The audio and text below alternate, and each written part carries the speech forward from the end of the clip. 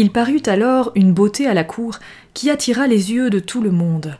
Et l'on doit croire que c'était une beauté parfaite, puisqu'elle donna de l'admiration dans un lieu où l'on était si accoutumé à voir de belles personnes.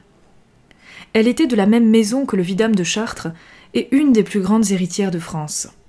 Son père était mort jeune, et l'avait laissée sous la conduite de madame de Chartres, sa femme, dont le bien, la vertu et le mérite étaient extraordinaires. Après avoir perdu son mari, elle avait passé plusieurs années sans revenir à la cour. Pendant cette absence, elle avait donné ses soins à l'éducation de sa fille. Mais elle ne travailla pas seulement à cultiver son esprit et sa beauté, elle songea aussi à lui donner de la vertu et à la lui rendre aimable. La plupart des mères s'imaginent qu'il suffit de ne parler jamais de galanterie devant les jeunes personnes pour les en éloigner. Madame de Chartres avait une opinion opposée. Elle faisait souvent à sa fille des peintures de l'amour. Elle lui montrait ce qu'il a d'agréable, pour la persuader plus aisément sur ce qu'elle lui en apprenait de dangereux.